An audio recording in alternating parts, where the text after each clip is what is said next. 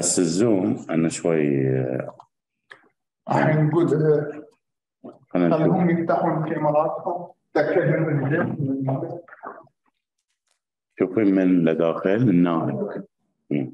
لا شو؟ ليش محطوط المرسل بتاع جنب؟ ما هو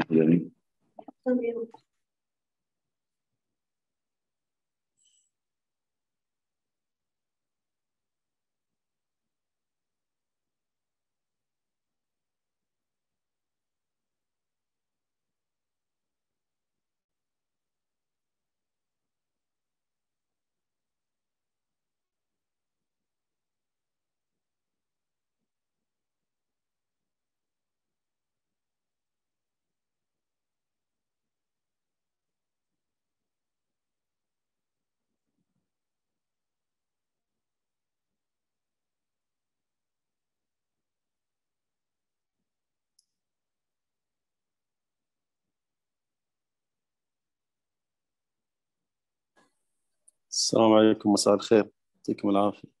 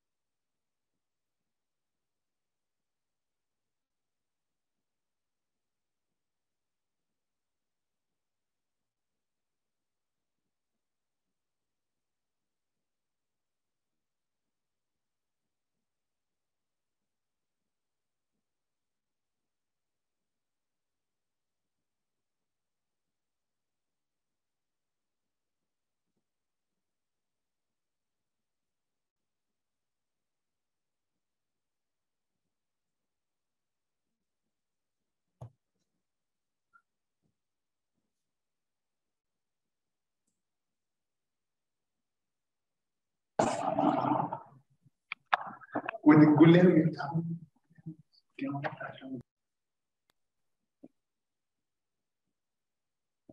آه، السلام عليكم. آه، إخواني الموجودين ما أدري من موجود ويانا هني بس يا ريت آه، من الموجودين يفتحون الكاميرات عشان نقدر نعرف من المتواجد ويانا.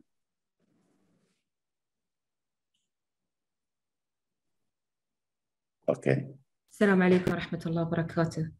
عليكم السلام ورحمة الله. أهلا. معك المهندسة مها حمادة من وزارة الأشغال. أهلا أهلا أستاذ أهلا سعادتكم أهلين أهلين. أخوي رضا شو أخبارك؟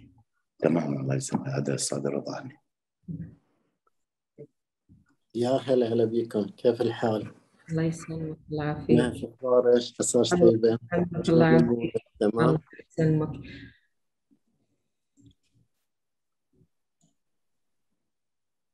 كأن الكمبيوتر بيتسكر وبودش يعني برد دودش. هو بأن الساعة 7 تبرمج الكمبيوتر تسكر. اي يعني إحنا أغلب الأخوان إن شاء الله موجود يكونوا موجودين يعني. اي السلام عليكم. وبركاته. عليكم السلام ورحمة الله وبركاته. مساكم الله بالخير أخوي بدر مهندسة أهلا أهلا أستاذ دكتور. أهلا. أهلا بك دكتور. اولا اولا آه، السلام عليكم ورحمة الله وبركاته. آه، يعني شكرا لضيوف الأعزاء آه، لكم جميعا آه، لتلبيتكم ندوة آه، أو تلبيتكم دعوة البلاد لحضور آه، هذه الندوة. وأتمنى آه، ان أن تكون مخرجات هذه الندوة آه، مخرجات يستفيد منها المتلقي آه، والمشاهد. آه، اولا أبدأ بالترحيب بسعادة النائب آه، أستاذ غازي الرحمه أهلا بك في في ندوة البلاد وشكرا ل- لقبولك الدعوة. وكذلك تفضل. أهلا وسهلا والشكر موصول إلى صحيفة البلاد الغراء وإلى جميع الموجودين في الحضور اليوم. كذلك آه، أرحب آه، بسعاده الوكيل آه، المساعد الأستاذ رضا الأدرج. شكرا لقبولك الدعوة ونحن كلنا فعلا نود في هذه الندوة أن نستمع إلى الكثير من إنجازات التي حققتها وزارة الأسكان. وشكرا لك مرة أخرى على قبولك هذه الدعوة. أهلا عزيزي. إن شاء الله في خدمتكم دائما إن شاء الله. كذلك أرحب آه، آه، بسعادة الأستاذ آه، آه، أستاذ محمد خليل آه، هو مدير ال- ال- العمليات والخدمات في في الصحة العامة. المراكز الصحية. شكرا لقبولك الدعوة و آه، وهذا شكر مني خاص أمس آه، هاتفتك للشكر واليوم أشكرك أمام الجماعة لقبولك الدعوة. تسلم يعطيكم ألف عافية إن شاء الله وكل التوفيق يا رب. آه، كذلك أنا أود أن أشكر أن أشكر فعلا آه، سعادة المهندسة آه، آه، مها حمادة على قبولها الدعوة. هي مديرة تخطيط وتصميم الطرق في وزارة الأشغال. شكرا لك لقبولك الدعوه آه، كذلك آه، ما أدري إذا الأستاذة آه، الأستاذة آه، سعادة المهندسة آه، فاطمة جعفر آه، مدير التخطيط مدير التخطيط ومشاريع الصرف الصحي في وزارة الأشغال. شكرا لقبولك الدعوة من صحيفة البلاد.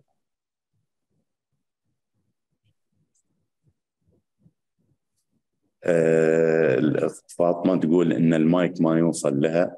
ممكن آه، ممكن تفتحين المايك من عندك؟ المايك مفتوح؟ مايك مفتوح.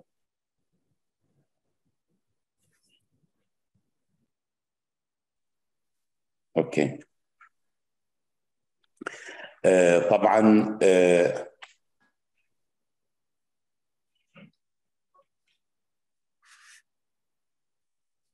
هي قاعدة تكلمني تقول إن الصوت ما يوصل على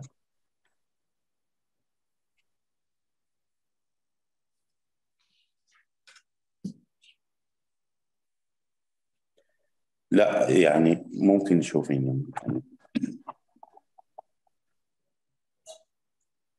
كذلك أنا آه، آه، أرحب بسعادة الدكتورة حصة الدوسري آه، على قبولها الدعوة. شكرا لك دكتورة على قبول الدعوة. ما أدري إذا صوتي مسموع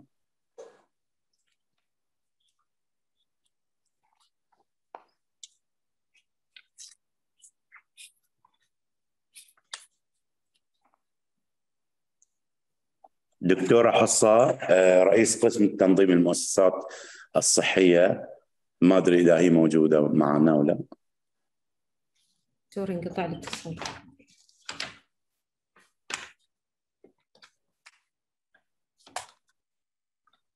دكتورة حصة تسمعني؟ دكتورة حصة.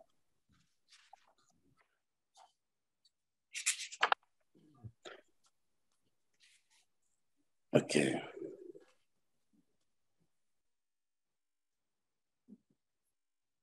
ظهر الصوت في مشكلة في الصوت عندهم برا. ممكن. عندهم هم لازم يقبلون الصوت من هذا يمكن. أه، ما أدري إذا الأستاذة مهندسة فاطمة جعفر تسمعني أو لا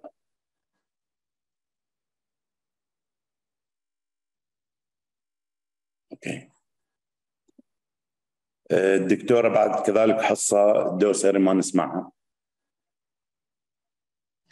إحنا ما قاعدين نسمع شيء يعني.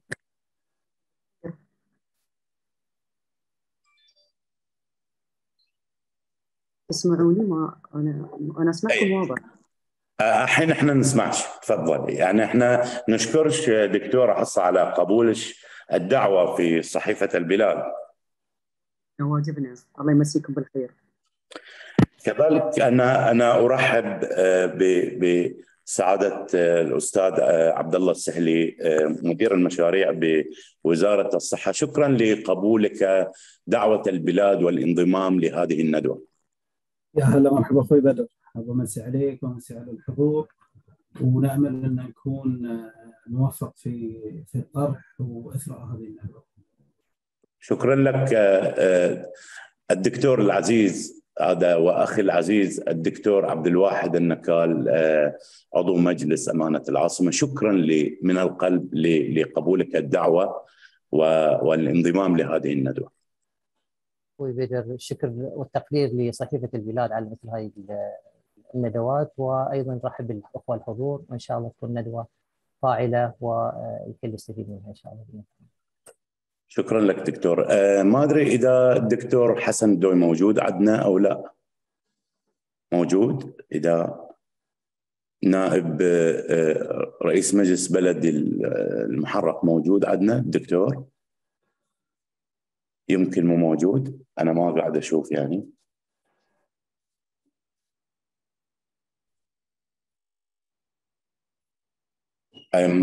ربما يعني الدكتور مو موجود يعني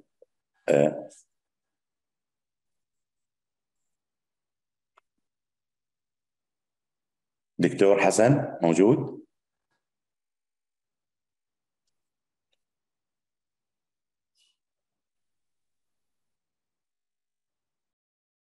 شوف الدكتور حسن بس. ما عندي. للأسف الدكتور يمكن مو موجود ما انضم معانا. آه، سعادة النائب آه، آه، يعني واضح عنوان الندوة واضح عنوان الندوة. فلو تكرمت سعادة النائب ممكن كلمتك في في في المبدئية في هذا الشأن. تفضل.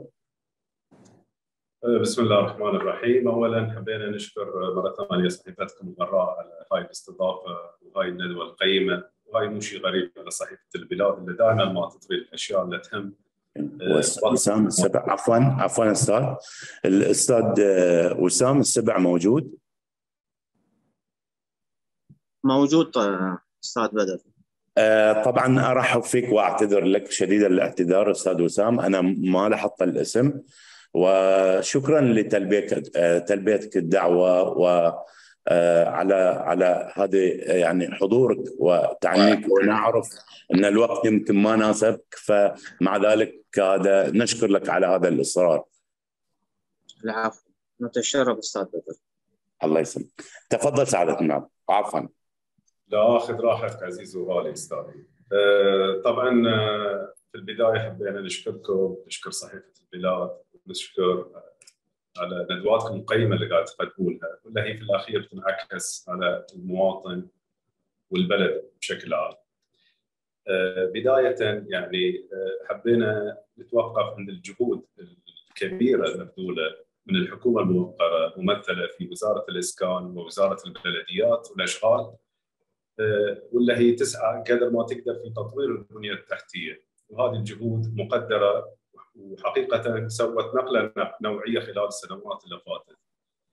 آه، مثل ما الجميع يعلم يعني اليوم في مدن اسكانيه جديدة وكبيرة ولله الحمد وهاي المدن تمتلك بنية تحتية قوية ومتطورة تتمثل اللي هي في الشوارع الواسعه والمساحات الخضراء والمواشي والسواحل والحدائق وغيرها من الخدمات الموجودة.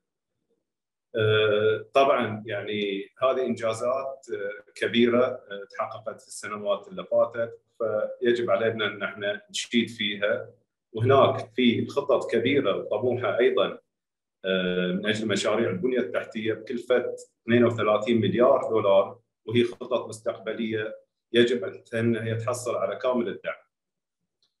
فيما يخص الندوة ومحور الندوة يعني. إحنا لما نتكلم عن المدن الجديدة مثل ما قلت إن هذا إنجاز بحد ذاته إنجاز كبير لكن اليوم إحنا أمام واقع جديد وهو إن جميع المدن تحتاج إلى مرافق عامة ومرافق خدمية أساسية وبشكل عاجل.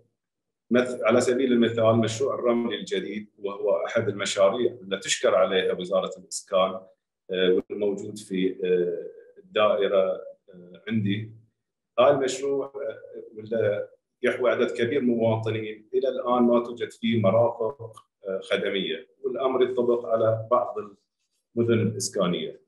وأنا أقدر يعني ان الحكومة وهي تقوم تنشئ هالمشاريع. كان هدفها الأساسي والعاجل هو تلبية الطلبات الإسكانية قدر الإمكان بسرعة وعلى وتيرة سريعة. وانشاء وإنشاء الطلبات الإسكانية. من أجل له تنفيذ توجيهات جلاله الملك حفظه الله ورعاه بانشاء 40000 وحدة سكنية. من أجل تنفيذ البرنامج الحكومي اللي وافقت عليه السلطة التشريعية بإنشاء 25000 وحدة سكنية خلال أربع سنوات. فالهدف في السنوات السابقة كان هو تلبية أكبر عدد ممكن من الطلبات الإسكانية. ونجحت الحكومة ممثلة بوزارة الإسكان. يعني خلينا نتكلم صراحة نجحت الحكومة ممثله بوزاره الإسكان في هذا الشيء واليوم إحنا جايين للمرحلة الثانية وهي الإسراع في إنشاء الخدمات واستكمال المرافق اللي تحتاجها للمواطنين في في المشاريع الجديدة. طبعا لا يخفى عليك أنا عندي خبر يعني في ضمن المشاريع اللي قاعدة تصير عندنا في هناك معوقات قاعدة تواجهها الحكومة في هذه المنطقة مثلا الاسكان الرملي فيها معوقات استملاك الأراضي والإجراءات الطويله اللي تأخذها في تصميم المخططات النهائية للمرافق العامة. وهنا أعتقد يعني ان إحنا نحتاج إلى دراسة قانون الاستملاك مجددا في السلطة التشريعية من أجل ان ندرس جوانب الخلل والثغرات القانونية التي تسبب طول الإجراءات.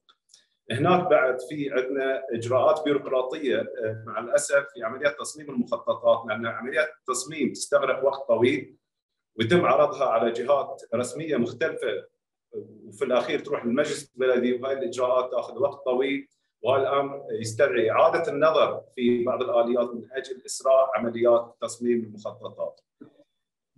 أه نقطة أخيرة حبيت أتكلم فيها أستاذي العزيز والأخوة الكرام، طبعا أه هناك إحنا إحنا أمام واقع جديد يتمثل في وجود وفورات نفطية كبيرة بسبب ارتفاع أسعار النفط. بعكس السنوات الأربع اللي فاتت اللي كان فيها سعر البترول في أدنى مستوى له خصوصا سنة 2020 وسنة 2021 وهذا الأمر تسبب في تقييد حركة كثير من المشروعات. لكن الحمد لله اليوم في ظل الفورات النفطية التوقعات باستمرار ارتفاع أسعار النفط خلال العامين الجاريين القادم فهذه هي فرصة كبيرة إلى مجلس النواب القادم وللحكومة من أجل ضخ موازنات كبيرة جدا من أجل مشاريع البنية التحتية في جميع مناطق البحرين خصوصا المدن الجديده التي تحتاج إلى مرافق وخدمات أساسية. شكرا. شكرا سعادة النائب داخله طبعا قيمة وفيها الكثير من المعلومات يعني إحنا أكيد راح نسأل فيها بالتالي أنا ممكن أطلب من الأخوة الضيوف عشان الأخوة الكنترول ممكن يأخذون لكم صورة. أنا أطلب من الجميع فتح الكاميرات علشان الصورة اللي راح تنزل في في الصحيفة إن شاء الله على السبت. الجميع يعني ممكن يفتح الكاميرا عشان نأخذ الصورة الشخصية. الأخوة في الكنترول بيتكفلون بهالموضوع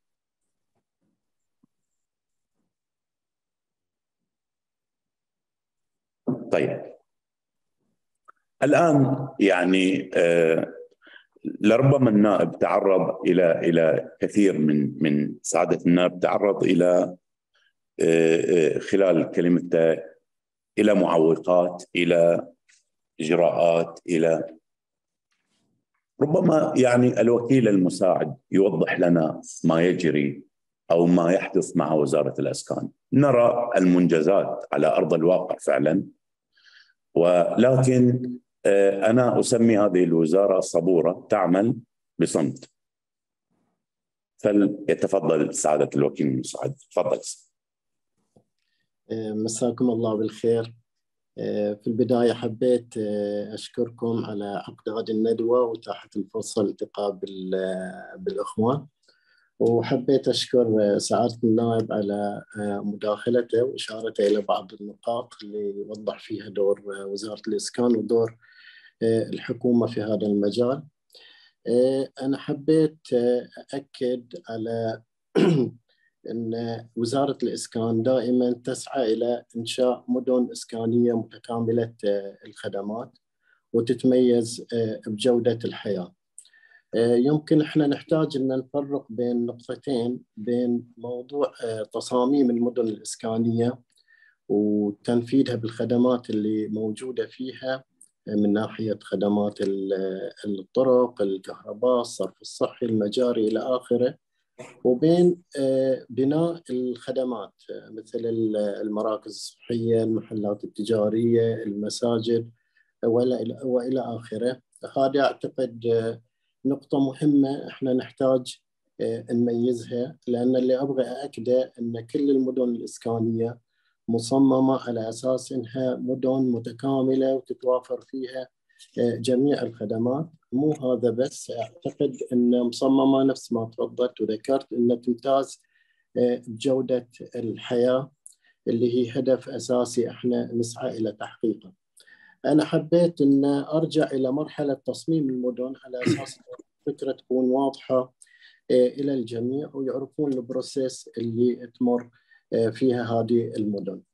إحنا طبعا في مع بداية تصميم المدن نسعى إلى تحقيق جميع مبادئ التصميم الحضري وفي هذا الجانب يكون لنا أكثر من لقاء مع الإخوان في جميع الجهات الخدميه نلتقي بهم في اجتماع موسع في بداية المشروع على أساس أن نعرف احتياجاتهم في هذه المدينة. وطبعا نبين لهم أن إحنا الموقع راح يكون في هذا المكان ودرسنا الخدمات اللي ممكن نحتاجها والخدمات المحيطة. بعدين في process موجود عند حكومة البحرين. واعتقد أن هذا process متطور وشغالين عليه من فترة طويلة اللي هو موضوع ال planning permission عقب ما تعد تصاميم المدن الإسكانية تبدأ أنها توزع هذه التصاميم أو تمرر على جميع الجهات الخدمية. كل جهة تدرسها وتبتدي تحط متطلباتها بناء على المخطط. يعني قبل يمكن في البداية كانت بصورة عامة حاليا توضع المتطلبات بناء على المخطط ويطور تصميم المدينة بناء على المتطلبات اللي ترد تباعا من هذه الجهات الخدمية وإلى أن تعتمد المدينة بموافقة جميع هذه الجهات. في هذه الحالة إحنا عندنا مدينة مصممة ومتكاملة الخدمات. في جانب ثاني إحنا بعد قمنا نركز عليه وحاولنا نحققه في المدن الإسكانية الجديدة اللي هو جانب أنسنة المدن. يمكن هذا مصطلح جديد بس إحنا حبينا نركز عليه لأن حسينا أن هذا هذا الجانب مهم وعنصر أساسي. شلون نخلي المدينة تكون أكثر ملائمة إلى الإنسان؟ شلون تكون أقرب منه مو بس مكان يقيم أو يسكن أو ينام فيه. وهذا الشيء يمكن لاحظونه في المدن الجديدة شلون البيوت والوحدات السكنية مرتبطة بصورة مباشرة بالسواحل بالواجهات البحرية اللي صايرة تندمج مع مع المنطقة السكنية.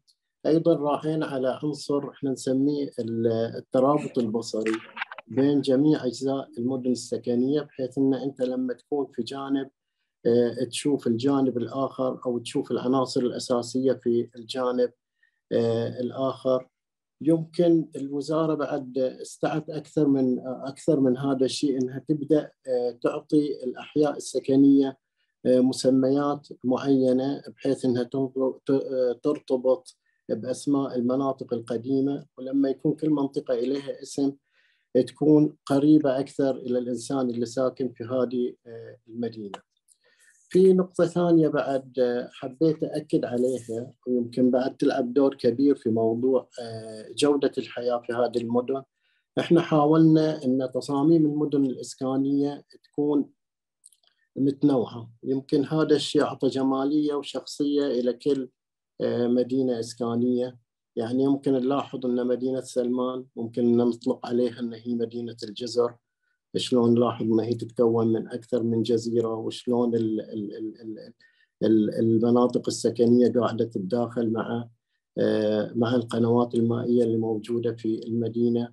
يمكن لاحظون مدينة شرق الحد امتازت بتصميم آخر إنها على هيئة شبه جزيرة. وفي امتداد بعض الخطوط أو المساحات الخضراء تمتد من الساحل مباشرة إلى عمق المدينة بحيث أن تشكل ممشى إلى كل سكان المدينة بعيد عن حركة السيارات. مدينة خليفة يمكن لحد الآن ما بدينا نبني في مدينة خليفة أو بدينا بنينا الحي النموذجي الأول لكن مسوية على نظام البراحات والكورتيارد بين الوحدات السكنية. مدينة شرق سترة يمكن إن شاء الله حين إحنا شغالين في المرحلة الأولى. إذا اكتملت المدينة يمكن نلاحظ ميزتها مع القنوات المائية الحديقة المركزية اللي راح تكون في هذه المدينة وشلون الحديقة المركزية في بينها ارتباط مع كافة أرجاء المدينة. اللي بغيت أقوله أن تصميم المدن مصمم إن شاء الله على أعلى المستويات اللي توفر جودة الحياة في هذه المدن. وخدمات البنية التحتية الأولية من ماء كهرباء طرق صرف صحي كلها متوفرة في المدينة وما تسلم الوحدات السكنية إلا مع توفر هذه الخدمات. يبقى الخدمات الثانية موجودة على نطاق التوسيع على على نطاق المخطط. وفي تنسيق بصراحة بين الجهات الخدمية ومؤخرا التنسيق صار بصورة أفضل على أساس أنها تنوجد على أرض الواقع. آه شكرا سعد آه سعادة المساعد الوكيل آه الوكيل المساعد على آه هاي المعلومات اللي ذكرتها عن هاي المشاريع. وإحنا فعلا كنا آه يعني بين فترة أنا قبل فترة كنت في مشروع شرق الحد. كنا قاعدين نصور هناك. شفنا فعلا آه آه مثل ما تفضلت إن إن التصاميم جاذبة فعلا. يعني فيها ربما مشاركة مع مع الماضي والحاضر. وهذه هذه ندل على يعني يدل على حسن الاختيار. إن الإنسان حتى التقينا بالأهالي يقولون إن إن التعايش بينهم صار أفضل من ناحية والانسجام بين الأهالي في فترة قصيرة يعني. وهذا طبعا جهد تشكر عليه وزارة الأسكان يعني.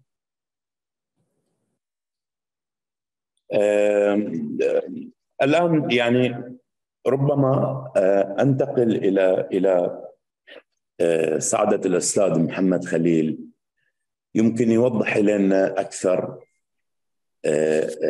نوع الخدمات الصحية الموجودة في في هذه المدن الخمس يعني. تفضل أستاذ. مساكم الله بالخير جميعا وفي البداية طبعا أشكر جريدة البلاد على الاستضافة وعلى الندوة هذه وأعتقد لي في الأخير فائده إلى كل كل المواطنين أساس يطلعون على آخر المستجدات بخصوص كل الخدمات الموجودة بالمدن الإسكانية.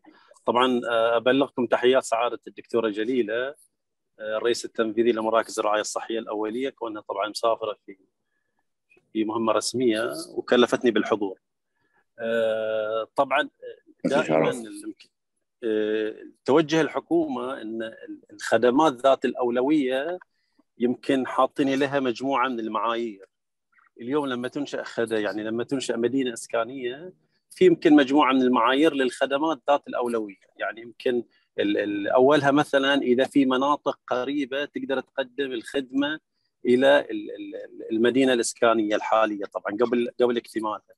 الشغلة الثانية طبعا الإخوة سواء كان في وزارة الإسكان أو في هيئة التخطيط من ضمن المخططات الموجودة وجود آه، يعني تخصيص أرض إلى مركز صحي بناء على حجم المدينة الإسكانية. وهذا طبعا يمكن موجود من في كل المدن الإسكانية.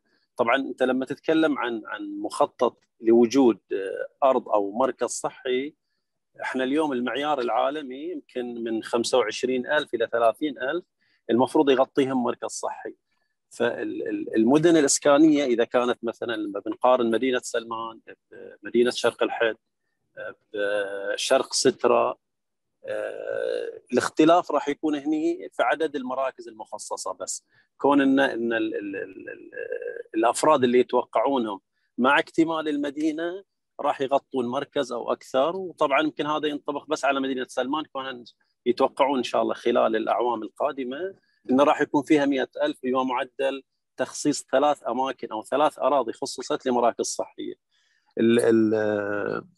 المراكز الصحية الحالية طبعا أنت اليوم تتكلم عن مدينة شرق الحد شرق أو شرق سترة الرملي نتكلم عن مدينة سلمان روعيه إن إن في توفر للخدمة الصحية الحالية إلى جانب العمل على الإعداد للبث في المشاريع الصحية الموجودة في الاماكن حسب الأولوية طبعا.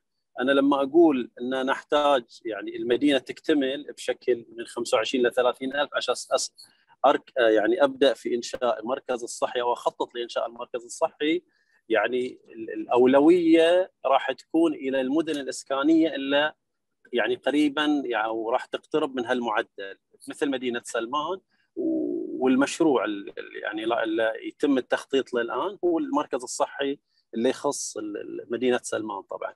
بس من ناحية ثانية أنت اليوم مثلا مدينة سلمان بعد توجيهات سيدي صاحب السمو ولي العهد رئيس مجلس الوزراء المؤقت بفتح 24 أو بفتح تسعة مراكز لمدة 24 ساعة على مستوى الملك المملكة طبعا تسعة مراكز. فمدينة سلمان يعني راح تستفيد من من مركز الشيخ جابر.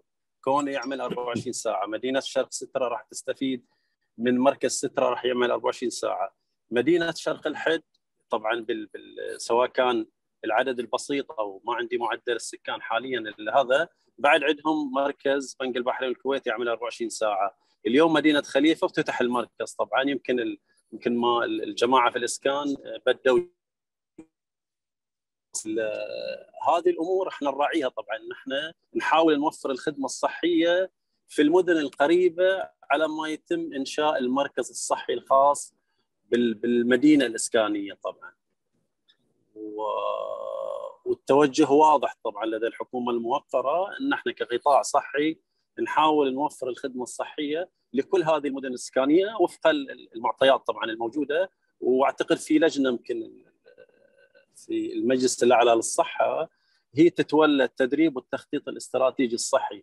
اليوم المركز الصحي قبل إنشائه يعني هذه اللجنة تعطي رأيها إلى مدى الحاجة في إنشاء مركز صحي في منطقة معينة ووفق دراسة معينة بالإضافة إلى الاحتياجات الأخرى، يعني المعايير الثانية أنا ما تكلمت عنها، طبعا في معايير تتعلق بال بال مثل ما قال الأخ الوكيل المساعد إن لما ينشؤون مدينة إسكانية يتم الجلوس مع مقدمي الخدمة على أساس لطرح احتياجاتهم.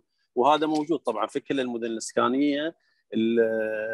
مطالبات الأهالي بعد لها دور كمعيار والمعيار الأخير هو توفر الميزانية. يعني التوجه متى ما تتوفر الميزانية يجب البدء في مشروع المشروع الصحي اللي يخدم آه، المنطقة أو يخدم المدينة الإسكانية.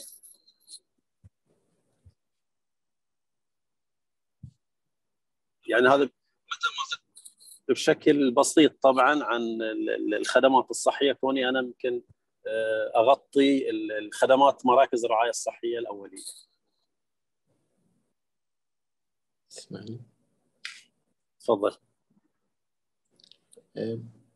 لا تسمح لي الله يخليك بس حبيت أشيد بالتنسيق يا الأخوان في وزارة الصحة والتواصل المستمر بينهم في تصميم المدن الإسكانية يعني مش بس على مستوى ال ال الحاجة إلى المركز أو لا في المدينة حتى على مستوى مساحة الأرض المطلوبة الموقع المطلوب إلى المناسب إلى إلى المركز الصحي.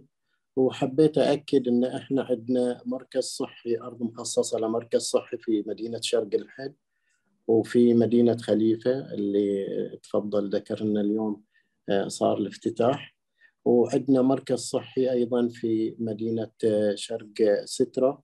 بالنسبة إلى مدينة سلمان الأكبر عندنا موقع إلى مستشفى وموقعين إلى مراكز صحية. وإن شاء الله عما قريب يعني من ضمن خطط الوزارة أن راح يبتدون في إنشاء مركز صحي.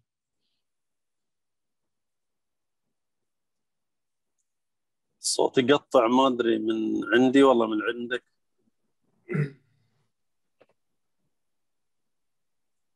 ما أدري إذا الجماعة يسمعونك والله. أنا ما اسمع المقدم. السبيكر أوف. ميوت صار ادائي الميوت ميوت أيوه. أيوه أنا كان ميوت مسوينا يعني أنا اولا أستاذ يعني أعتذر على هذا الخطا أنا حبيت أشكرك اولا يعني هذه على هذه الإيضاحات اللي ذكرتها مفيدة جدا وإن شاء الله في المناقشات الفترة الثانية بنستعرض الكثير من الأسئلة إلى إليكم وإن شاء الله تقدرون تجاوبونها. الآن أنتقل إلى إلى سعادة الأستاذ وسام السبع هو رئيس قسم شؤون المساجد في الأوقاف الجعفرية.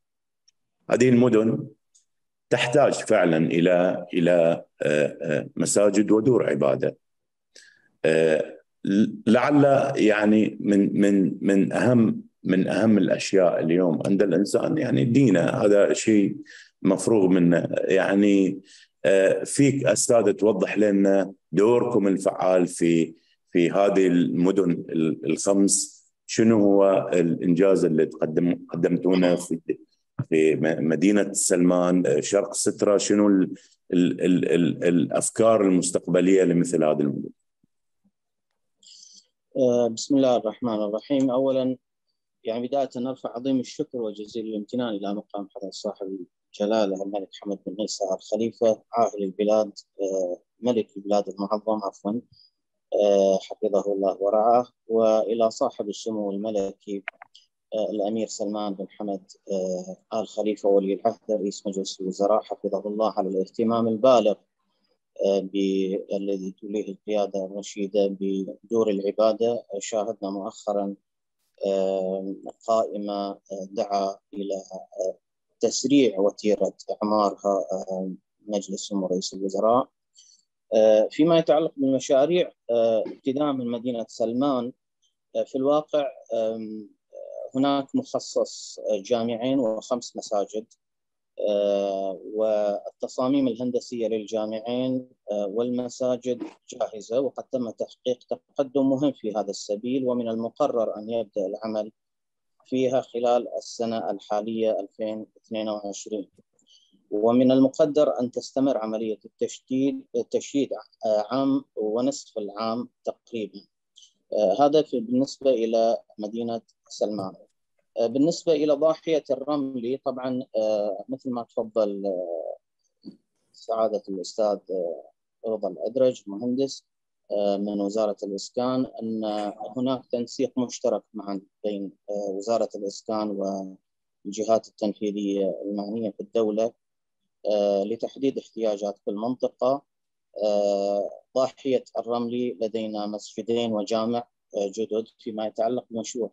بهذا المشروع هناك متبرعين تجري عملية التنسيق معهم بخصوص بناء عدد من المساجد ومن المؤمل أن تسير عملية البناء بوتيرة متسارعة في الفترة القادمة.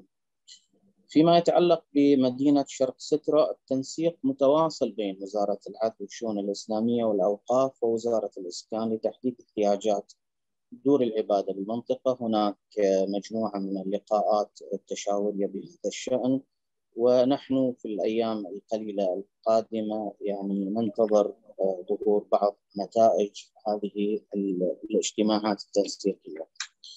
بالنسبة إلى مدينة شرق الحد في الواقع على المدى المنظور لا توجد يعني لحد الآن أراضي مخصصة في هاتين في في هاي المنطقة. باعتبار أن الامتداد العمراني لمنطقة الدير وأنا أتحدث هنا عن المساجد التابعة لإدارة الأوقاف الجعفرية. منطقة الدير وسماهيج تضم بالفعل مساجد تابعة للإدارة وهي تفي وفق تقديرنا الحالي تفي بحاجة الأهالي في الوقت الحالي. نشير هنا إلى أن عملية التنسيق والمتابعة في مع المجلس الأعلى للشؤون الإسلامية والبلديات والمحافظات الأربع تجري على قدم وساق لاستخراج رخص البناء تمهيدا لبدء عملية التشييد بالنسبة للمشاريع التي استكملت إجراءاتها وصلت لمراحل متقدمة. الإدارة حقيقة تعكف حاليا على تأهيل وإعادة إعمار 18 موقع عبادي دور عبادة. بعضها جديد والآخر تجري عمليات صيانة شاملة لها في مختلف مناطق المملكة وجاري التنسيق أيضا مع الجهات التنفيذية في الدولة لاستكمال كافة الإجراءات. تجب الإشادة هنا بالتوجيهات الكريمة لسمو ولي العهد رئيس مجلس الوزراء بشأن تأهيل وإعادة إعمار 20 مسجد. ونحن موعودون في خلال الأيام القليلة الماضية بقائمة جديدة سيعلن عنها لاحقا في غضون الأيام القليلة القادمة. ومن المقرر أن تشمل نحو 14 إلى 16 عشر مسجد في مختلف مدن ومناطق البحرين في مختلف المحافظات تابعة لإدارة الأوقاف الجعفرية. بالنسبة إلى يعني أنا أقدر بأنه ستكون 30 مسجد. وهذه القوائم التي تصدر تباعا بالتنسيق مع مكتب ديوان ولي العهد سمو رئيس الوزراء. ستكون متواصلة في الفترة المقبلة بمعنى أن في كل فترة سنشهد يعني قائم قوائم جدد يعني فيها نوع من التوجيهات من الجهات العليا لتسريع عمليات استصدار الرخص وإعادة الإعادة شكرا لك أستاذي على هذه الإضافة وهذه المعلومات. وإن شاء الله يعني عندنا أسئلة عن البعد بعد الدور دور العبادة في في المدن الخمس. إن شاء الله فترة المناقشات راح نسألهم. الآن أنتقل إلى ما أدري إذا سعادة المهندسة فاطمة جعفر مدير التخطيط والمشاريع الصرف الصحي في وزارة الأشغال موجودة عندنا موجودة ويانا. تسمح لي هي المهندسة فاطمة؟ قطاع الطرق والصرف الصحي مع بعض. إحنا الله يسلمك. هي حن هي عندها مشكلة في الكونكشن فهي قالت لي بالدش يعني. طبعا سعادة المهندسة أولا نعرف المهندسة مها حمادة هي مدير التخطيط وتصميم الطرق في وزارة الأشغال. أستاذة ليش الكلمة الآن؟ إحنا نبغي نعرف أكثر يعني تفاصيل امتداد البنية التحتية في في في المدن الخمس. تفضل يا أستاذ.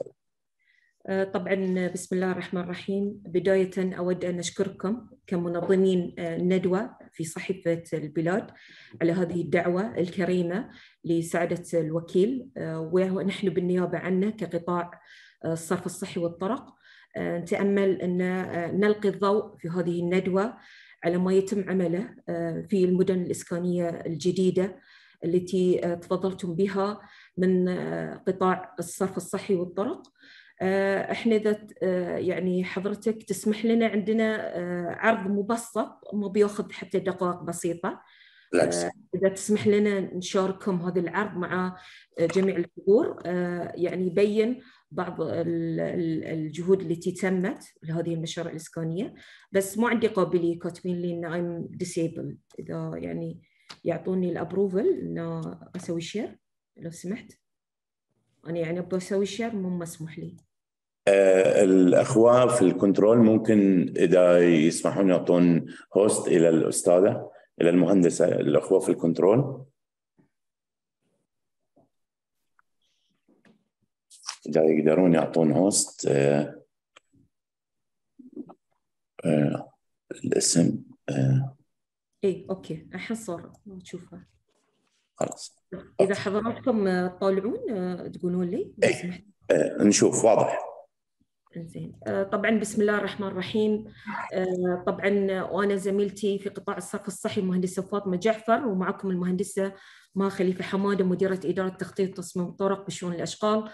طبعا أحب ألقي الضوء على بعض الجهود اللي تمت للبنية التحتية الرئيسية للمشاريع الإسكانية وتحديدا في المشاريع الإسكانية الخمسه المشار إليها. طبعا في البداية أحب أن أشير كمقدمة أن وزارة الأشغال وشؤون البلديات التخطيط العمراني. طبعا وبدعم كريم من الحكومة الموقرة اهتمامها البالغ بتطوير البنية التحتية للمشاريع الإسكانية لتحقيق رفاهية طبعا الوطن والمواطنين. وعليه بناء على هذه الاهتمام الواضح تم وضع حزمة من الخطط والمشاريع والبرامج التنموية لخدمة المشاريع الإسكانية بما يضمن نجاحها وتحقيق استدامتها. طبعا من مهام ومسؤولية عشان نحدد مهام مسؤولية وزارة الأشغال كشؤون أشغال من قطاعي الطرق والصرف الصحي تنحصر هذه المهام كشؤون أشغال بدعم المشاريع الإسكانية عبر تنفيذ شبكة البنية التحتية الرئيسية للمشاريع الإسكانية وتوصيل الخدمات بما يضمن التكامل مع الخدمات التي تقدمها وزارة الإسكان من توفير شبكة الطرق والبنية التحتية الداخلية. طبعا هذه المهام الرئيسية إحنا نوصل الشوارع والمنافذ الخارجية كمهمة أساسية من شو قبل شؤون الأشغال وتحديدا قطاع الطرق. إحنا نوصل الشوارع الرئيسية المؤدية للمشاريع الإسكانية وليس الطرق الداخلية. إحنا نقدم فقط الإسناد للطرق الداخلية للمشاريع الإسكانية، إضافة إلى ذلك أيضا نوصل شبكة الصرف الصحي الرئيسية للمشاريع الإسكانية، وإضافة إلى ذلك توصيل شبكة رئيسية لمياه الأمطار لهذه المشاريع الإسكانية. طبعا في البدء أحب أستعرض على حضراتكم مشروع شرق سترة. كما هو موضح على حضراتكم ومبين الموقع شرق سترة. امامكم طبعا من إنجازات وشؤون الأشغال في هذا في هذا المشروع تم افتتاح المنفذ الجنوبي لمشروع شرق سترة في نوفمبر من 2021 وهو محدد باللون الأخضر موضح امامكم إضافة إلى ذلك أيضا هناك تم افتتاح وتنفيذ توسعة شارع 47 بعراد وتوسعته إلى ثلاث مسارات في كل اتجاه. طبعا هذه مؤدي إلى شارع الحوض الجاف والمؤدي طبعا بإمكان التوصيل إلى شرق سترة. وهناك حزمة من المشاريع الإضافية إضافة إلى ما تم إنجازه. هناك أيضا دعم إضافي سيقدم. مها إذا تسمحي لي تقصدين مشروع شرق الحد. شرق الحد. تقولين شرق سترة هي سامحة شرق الحد. طبعا الله يسلمك. هناك إضافة إلى حزمة من المشاريع المستقبلية. لدعم هذه مشروع شرق الحد الإسكاني هناك مشروع توسعة شارع الحوض الجاف لأربع مسارات بيكون مشروع تطوير جسر الشيخ خليفة بن سلمان مع شارع الحوض الجاف وتطوير منافذ أيضا ثانية غير المنفذ الجنوبي الموضح لشرق الحد الأول هناك منفذ منفذ ثاني ومنفذ ثالث كما هو موضح أمام حضراتكم. طبعا أختي المهندسة فاطمة إذا ما يعني تستعرض هناك خدمات للصرف الصحي حسب ما هو موضح أمامكم انه تم توفير هذه الخدمات لمدينة شرق الحد وتوصيلها بكامل مراحلها وأيضا توفير وصلة قريبة للمشروع الاسكاني لخدمات مياه المعالجة لشرق الحد. المدينة الثانية اللي بستعرضها على استعجال مشروع شرق السترة الإسكاني طبعا اللي هي الموقع الموضح أمامكم هو المشروع الإسكاني هنا موجود. طبعا من ضمن الجهود اللي إحنا قيد التنفيذ حاليا اللي يتم العمل عليها إن شاء الله إحنا نعمل إن شاء الله يكون قريب أعمال ردم البحري نعمل عليه للخط اللي بالموضح باللون الأخضر وانشاء خط رئيسي للصرف الصحي. طبعا هذه إن شاء الله ضمن المرحلة القادمة القريبة إن شاء الله. هناك حزمة مستقبلي لشرق سترا الإسكاني. هناك انشاء طبعا شارع شرق سترا وشارع 201 بأربع مسارات. هاي طبعا الشوارع بتكون بأربع مسارات في كل اتجاه. وأيضا معبرين مثل ما تفضل المهندس رضا الأدرج سعادة الوكيل المساعد للشؤون المشاريع الإسكانية. هناك هناك معابر لهذه المدينة بتكون معابر بحرية كالفرت تسمى في عبر المنفذ الشمالي والجنوبي لإسكان شرق سترا وأيضا هناك توسعة لشارع واحد وشارع خمسة إن شاء الله في الطريق الجنوبي. أما هناك في المرحلة القادمة هناك خدمات الصرف الصحي يتم حاليا تجهيز مشروع تطوير محطة المعالجة المياه الصرف الصحي لشمال السترة والذي سيخدم طبعا المشروع الإسكاني بجميع مراحله إضافة إلى خط خدمات المعالجة التي ستتم ضمن بناء خط بناء مياه المعالجة من قبل المحطة إلى حدود المشروع الإسكاني من قبل الوزارة وضمن مشروع بناء المحطة. المشروع الثالث اللي بستعرض على حضراتكم هو مدينة سلمان. مثل ما تعرفون حضراتكم مدينة سلمان القائمة حاليا هي لها منفذ تم تنفيذه من قبل وزارة الأشغال. وهو المنفذ الجنوبي من شارع الجنوبية إلى مدينة سلمان. إحنا نسميه W link. هاي تم تنفيذه سابقا وحين الوصلة الوحيدة موصلة لمدينة سلمان. إضافة إلى هناك مشاريع قادمة. هو منها تطوير شارع الجنوبية إلى ثلاث مسارات إن شاء الله في كل اتجاه وإحنا طبعا في انتظار الحصول في المرحلة الأخيرة إن شاء الله بنكون هناك مناقصة له وترسيته قريبا لتنفيذه خلال الربع القادم من هذا العام. إضافة هناك مشروع توسعة شارع الشيخ عيسى بن سلمان الأربع مسارات، طبعا عيسى بن سلمان يؤدي إلى شارع الجانبية من جهة الجنوب إلى شمال مدينة سلمان، طبعا هذه إلى إضافة إلى إنشاء لوب جديد لتقاطع الجسرة. وهذه فتح تم فتح عطاءاته في تاريخ 23 مايو قريبا توا بالأمس أو قبل يومين يعني تحديدا 23 مايو 22 طبعا هذه اللوب أو الانتقال التحويلة بيكون هناك جسر علوي بيكون من شارع الجنبية إلى شارع الشيخ عيسى بن سلمان. طبعا هذه بحسن الحركة المرورية الناقلة من مدينة سلمان والقرى المحيطة بشارع الجنبية. إضافة إلى أن هناك خدمات مستقبلية منها شارع توسعة شارع البديع بثلاث مسارات. إحنا قريبا إن شاء الله نتأمل أن نطرحها في مناقصة على نهاية هذا العام بعد إنهاء انتهاء مع التنسيق مع كافة الخدمات.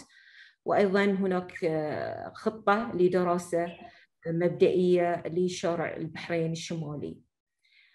بالنسبة لخدمات الصرف الصحي هناك طبعا مدينة سلمان تم توفير هذه الخدمات بالكامل مراحلها لهذه المدينة. وأيضا خدمات مياه الصرف الصحي المعالجة حيث يتم ري المسطحات الخضراء باستخدام هذه المياه. مثل ما تفضل سعادة المهندس رضا. هناك تنسيق مستمر بشأن مدينة خليفة. والعمل عليها حيث تم إنجاز والانتهاء من مشروع رياض العسكر الموضح باللون الأخضر. هناك أيضا مشاريع قادمة لتطوير الطرق المحيطة بمدينة خليفة المقترحة بكافة مراحلها بيتم التنسيق بيننا وبينهم. وأيضا سيتم خدمة المشروع الإسكاني من خلال إنشاء محطة معالجة للصرف الصحي في مدينة خليفة وسيتم عبرها مستقبلا إنشاء خطوط لخدمات المياه المعالجة. أخيرا عشان لا أثقل على حضراتكم مشروع الرمل الإسكاني طبعا كما هو موضح أمام حضراتكم هاي المشروع الإسكاني الوزارة أنجزت المرحلة الأولى من مشروع توسعة شارع الشيخ زايد. ثلاث مسارات في كل اتجاه. كما وضح باللون الأخضر أمام حضراتكم. وتوسعته. يعني لاستيعاب الطاقة الاستيعابية للإسكان الرملي.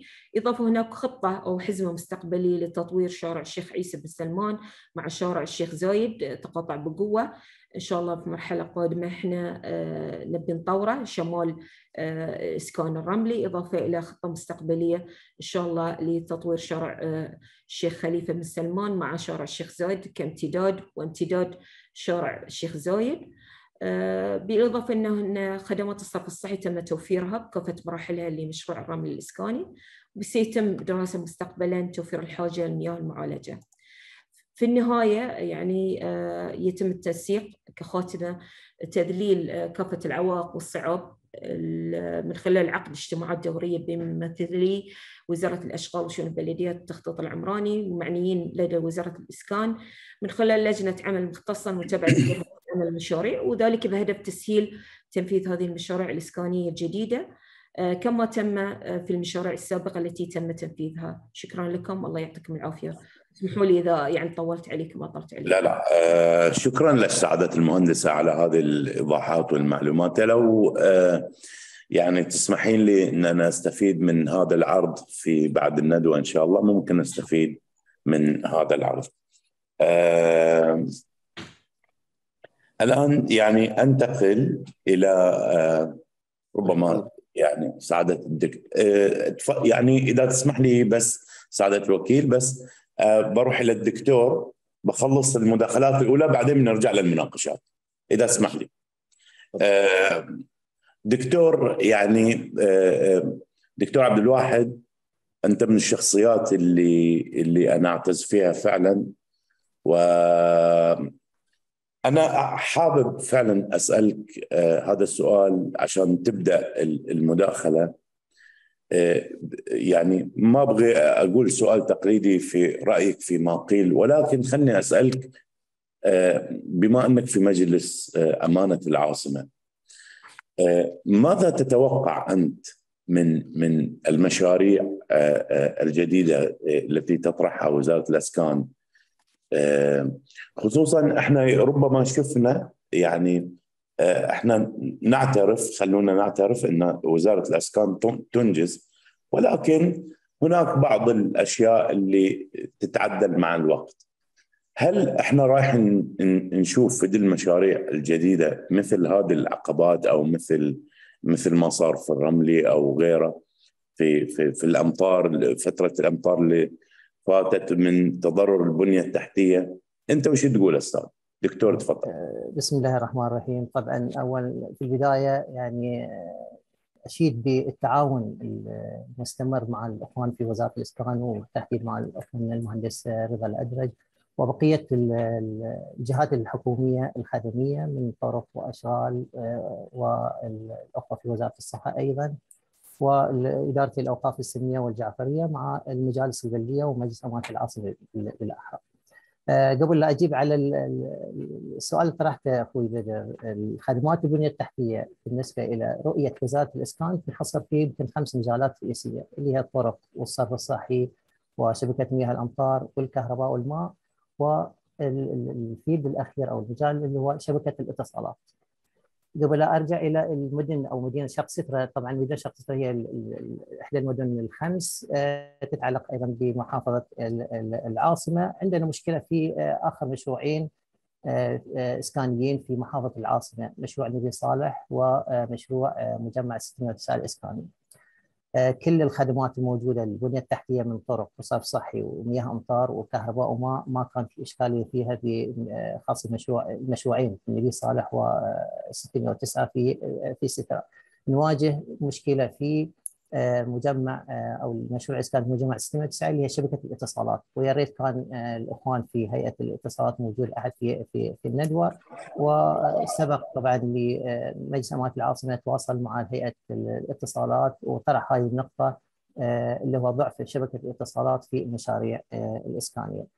الأراضي الخدمية اللي هو تحديد سواء خدمات تعليمية أو صحية أو ما شابه من خدمات العامه والمراكز التجاريه طبعا إحنا عارفين معظم المشاريع الاسكانيه تخلو وان وان وإن تم تخصيص طبعا الأراضي لهذه النوع من الخدمات لكنها على وجه الواقع طبعا لا تنفذ وقت افتتاح المشاريع الإسكانية ونأمل في في المدن الإسكانية الخمس تكون موجودة على أرض الواقع.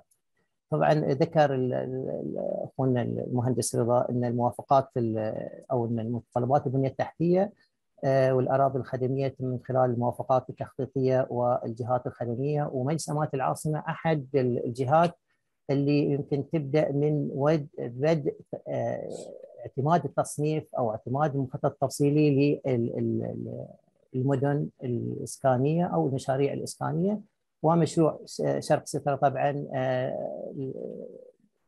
اعتمد مجلس امانه العاصمة مر عليه مرتين طبعا في كان هناك تعديلات وعارفين حجم المشروع الكبير من تخطيطي وأيضا مساحة الأراضي الموجودة والتعقيد اللي اللي اللي قاعد يصير في عملية الاعتماد هاي مثل هاي المخططات وإيجاد الميزانية اللازمة. بالنسبة إلى المشروع شرق سترة طبعا مجلس امانه العاصمة يبدأ بالاعتماد مثل ما إحنا عارفين اعتماد المخطط وعارفين مكونات المشروع إذا كانت هناك طبعا أراضي خدمية خاص بالخدمات التعليمية أو الخدمات الصحية وما شابه لكن يعني في ميدان شق سترة في الأساس سؤالك أخوي بدر. نشوف مثلا المدارس الخدمات التعليمية.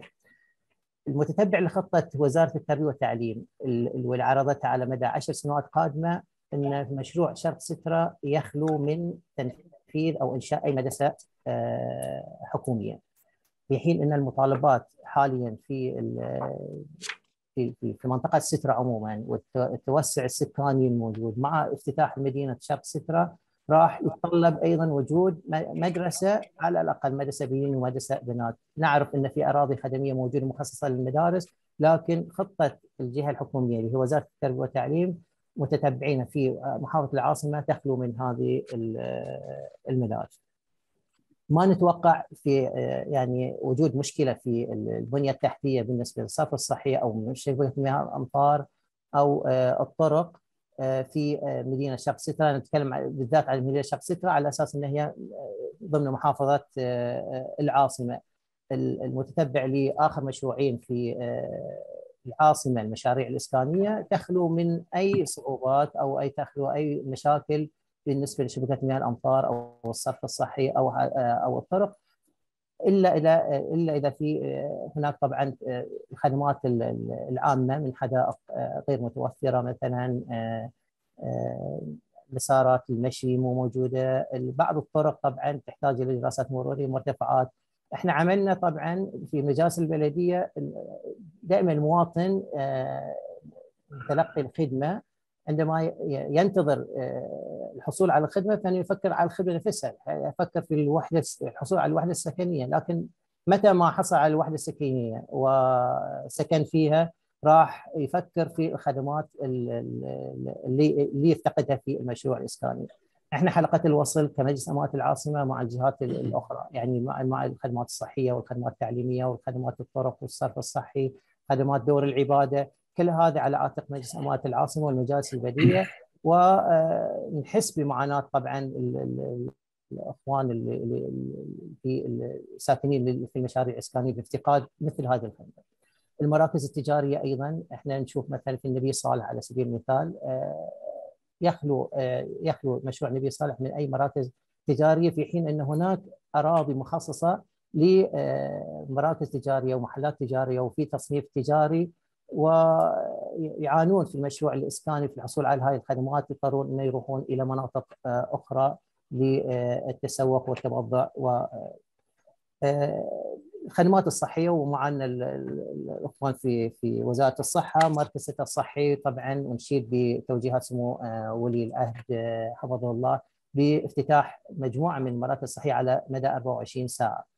المركز الستة الصحي طبعا وفي تواصل مع سعاده الوزيرة من فترة سابقة وأيضا من الاخوان في وزارة الصحة. حاجة مركز الستة الصحي إلى تطوير أو حاجة منطقة ستره في الواقع إلى مركز آخر.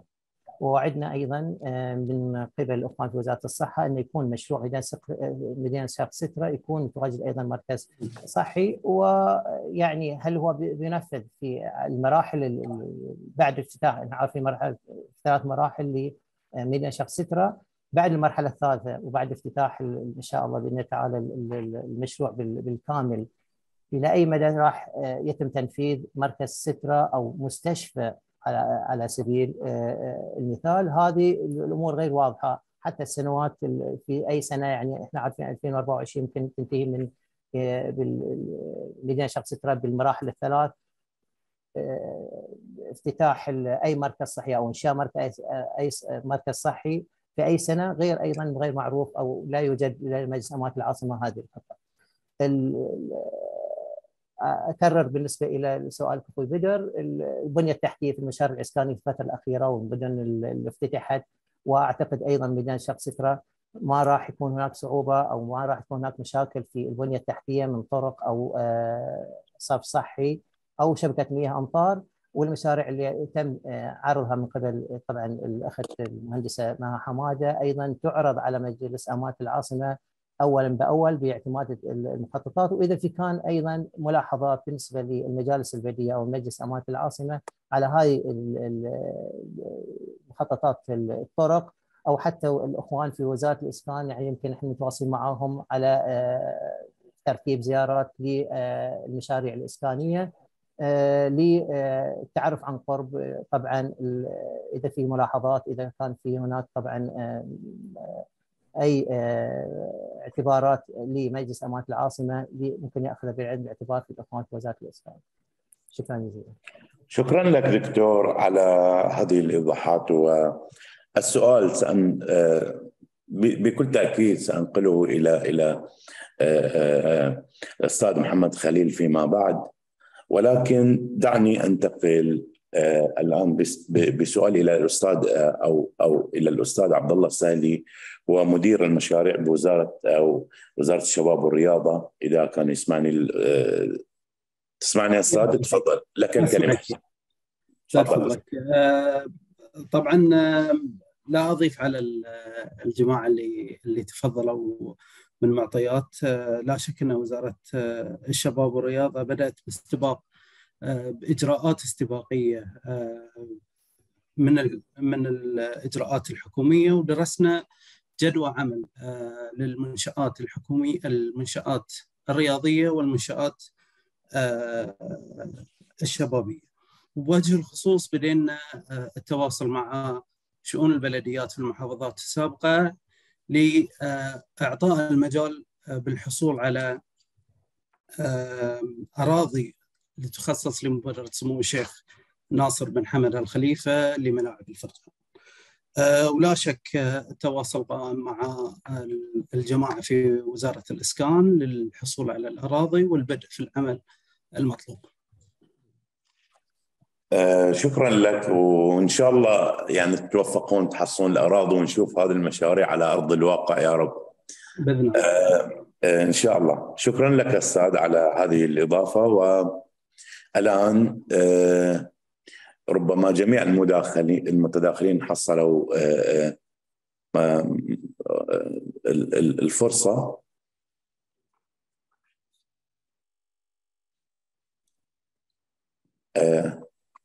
في أحد نعم. اي نعم. استاذه حصة استاذه حصة نعم. آسف. استاذه حصة. الدكتوره حصة تفضلي الآن. أنت رئيسة القسم دكتورة. يعني آسف على التأخر. أنا الاسم كان تحت فما لقيته. دكتورة حصة رئيس قسم تنظيم المؤسسات الصحيه في في ممكن تتفضلين تشرحين لنا أكثر تفضلي يا تفضلي نعم. ما قلت أنا رئيس قسم تنظيم المؤسسات الصحية في الهيئة الوطنية وحاليا القائم بأعمال الرئيس التنفيذي. السلام عليكم ورحمة الله وبركاته. الله يمسيكم بالخير جميعا. آه، في البداية أشكر القائمين على جريدة البلاد على دعوتهم الكريمة لي بالمشاركة في هذه الدعوة الهامة. بكل مواضيعها اللي تصب في الصالح العام لمملكتنا الغالية واللي هو غير مستغرب على القائمين في جريدة البلاد. أود أن أستعرض عليكم نبذة عن أهم المستجدات بما يخص تراخيص آه، المؤسسات الصحية في مملكة البحرين. وبخاصة المؤسسات التي تقع في أو بالقرب من المدن الخمس الجديدة المعروضة في هذه الندوة.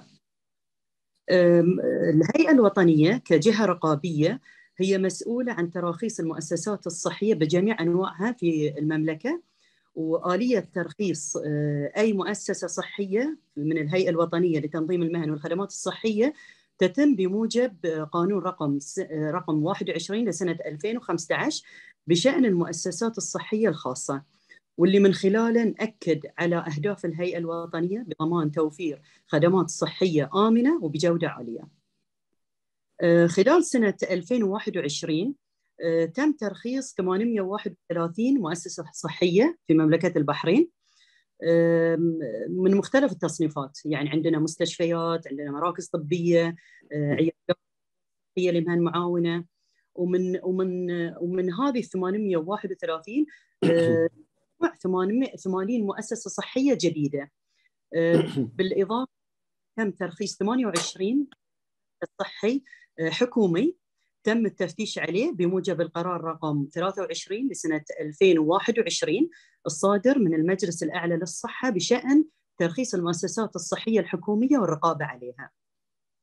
فأنتوا يعني ال- هو معروف أن المراكز الصحية الحكومية اللي للرعاية الأولية موجودة من من من القديم يعني في البحرين لكن ترخيصها من الهيئة الوطنية صدر هذا السنة ال- ال- الفائتة 2021 أما بالنسبة للمؤسسات الصحية اللي تم ترخيصها في في المدن ال- الخمس الجديدة أنا بعد مدينة مدينة وبعطيكم فكرة عن ال- التراخيص اللي أصدرناها في الهيئة. آه، مو بشرط في المدينة نفسها لأن في مدن جديدة توها بتقوم. آه، بعطيكم ال- المشاريع المؤسسات اللي ترخصت بالقرب من هذه المدن أو إذا في عندنا مشاريع مقدمة في هاي المدن. آه، باخذ أول مدينة مدينة شرق الحد. آه، يوجد مركزين واحد لخدمات الأسنان آه، والثاني بتعددات مختلفة في الطب البشري. أنا ما بذكر أسماء المراكز إذا تبون أنا عندي أسماء المراكز بس هم مركزين يعتبرون آه، بالقرب من م- مدينة شرق الحد وممكن يخدمون القاطنين مستقبلا في هذه ال- المدينة. آه، عندنا بعد مشروع حاليا مقدم آه، بعد يعتبر يعني بالقرب من مدينة شرق الحد وهذه مشروع مستقبلي تم تقديمه في الهيئة هو مجمع دلمونيا. آه، عبارة عن مجمع عيادات وخدمات طبية في مختلف التخصصات. يعني ممكن اللي اللي بيكونون في شرق الحد ممكن هذه يكون قريب لهم وهذه مشروع جديد إن شاء الله بس لحين ما ترخص. ال- المدينة آه، الثانية بني- مدينة سلمان. خلال 2021 تم ترخيص طبية بتخصصات متعددة ومركز جديد جميعهم في مواقع بالقرب من مدينة. آه، أيضا يوجد نعم. الصوت إنه يقطع فالرقم ما سمعناه آه، آه،. مدينة سلمان ولا أعيد اللي قبله؟ اللي قبله إحنا ما سمعنا الرقم. مدينة شرق الحد؟ اي آخر رقم كم كان؟ مدينة سلمان اللي قلنا خلال 2021 تم تم ترخيص أربع مراكز طبية بتخصصات متعددة ومركز أسنان جديد واحد. في مواقع بالقرب من مدينة سلمان يوجد أض- أيضا مشاريع مقدمة عندنا في الهيئة حق أربع مراكز طبية بعد بالقرب من مدينة سلمان هذه خلال هذه السنة وإحنا نأمل أنهم ينتهون منهم. آه، يعني تحديدا إذا تبون تعرفون ال exact location هو في بيكون يعني أغلبهم يكونون في سار والجنبية فإحنا نحسبهم إنهم الأقرب إلى منطقة سلمان إلى مدينة سلمان.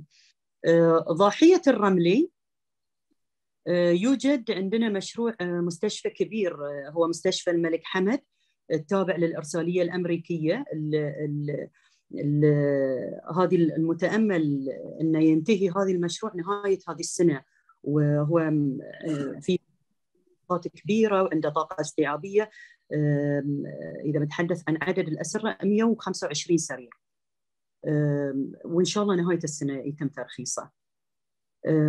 مدينة خليفة تم ترخيص مركز حكومي جديد في المنطقة مثل الأخ وذكرها الأخ اللي من وزارة الصحة.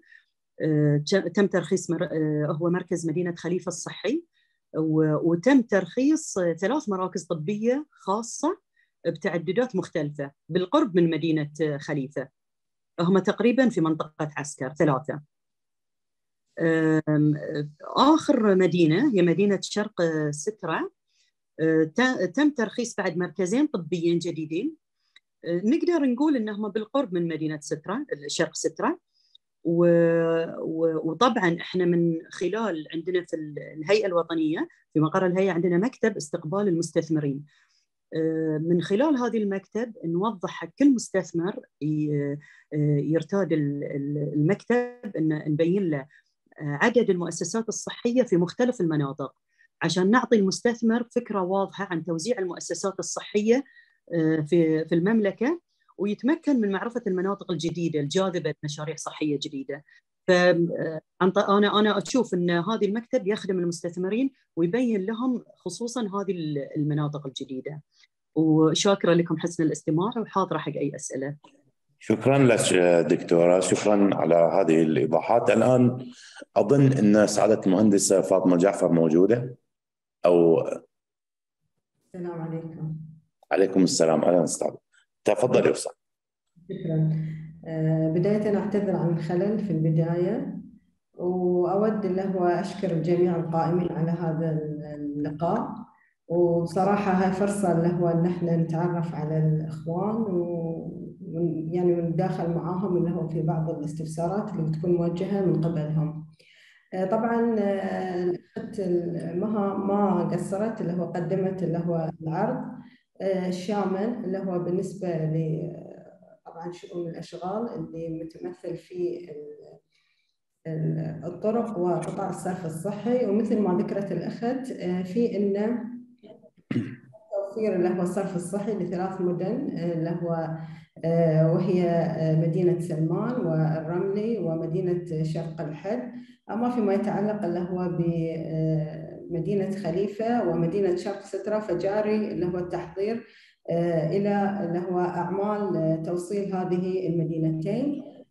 بالنسبة هو لمدينة خليفة طبعا مؤخرا تم الحصول على موافقة اللي هو وزارة المالية وذلك لتمويل اللي هو المحطة المركزية لمعالجة الصرف الصحي اللي راح يتم اللي هو من خلالها توصيل اللي هو مدينة خليفة بكافة مراحلها. أما بالنسبة اللي هو لمدينة شرق سترة فجار التحضير اللي هو لإعداد التصاميم التفصيلية وذلك اللي هو لربط المدينة اللي هو المرحلة الأولى بشبكتي اللي هو الصرف الصحي والمياه المعالجة. شكرا. شكرا لسعادة المهندسة على هذه الإيضاحات وإن شاء الله في المداخلات.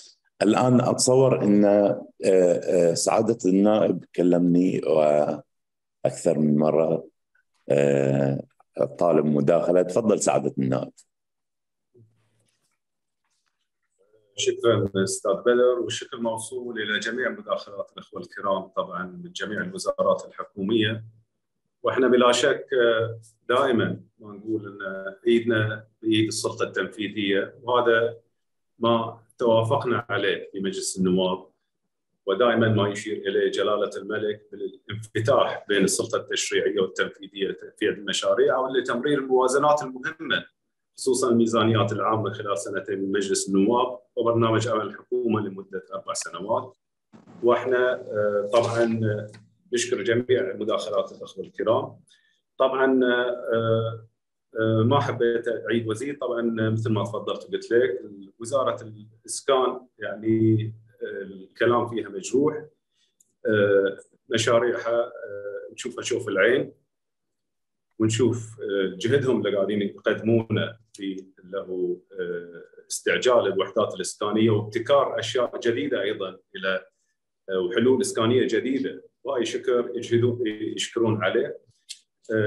وزارة تعمل مثل ما تفضلت بصمت وبكل جهد وإخلاص. وإحنا نعرف يعني آه، نقدر أن هي من أقل الوزارات اللي فيها موظفين تقريبا في البحرين ولكن الخير والبركة فيهم. وأيضا الوزارات الثانية ما ننسى جهودها وزارة الأشغال والبلديات والوزارات الأخرى. طبعا أنا حبيت كنت أسأل بالنسبة إلى الأوقاف الجعفرية والسنية ولكن اتلش صدرنا الاستاذ وسام السبع بالنسبة إلى المساجد اللي راح تكون موجودة. أيضا كنا حابين نستفسر بالنسبة للأوقاف السنية أيضا في مشروع الرملي إذا كان بيكون فيها موجوده ولا لا. هل في أحد موجود من الاوقاف السنية؟ موجود هنا عندنا موجود في الندوة. على أساس آه للأسف إحنا خاطبنا الأوقافين آه ولكن ما تسلمنا رد من الأوقاف السنية.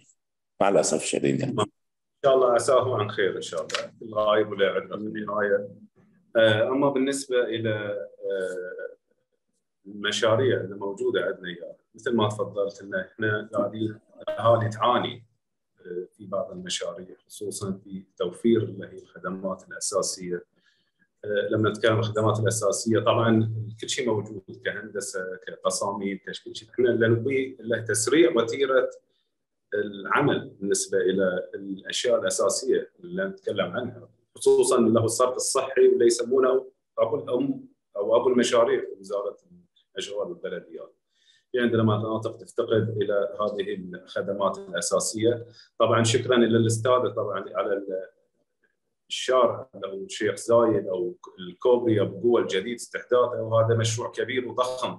طبعا يشكرون عليه وراح يربط مناطق حيوية وسط البحرين بتكون بشكل أخص، فكل الشكر والتقدير إليهم وإلى سعادة الوزراء أيضا لهم بعملهم وبكل جهد. وإحنا ما نشك فيه فيهم انهم يفعلون جميع ما يقدرون عليهم والمنتسبين جميعا إلى جميع الوزارات.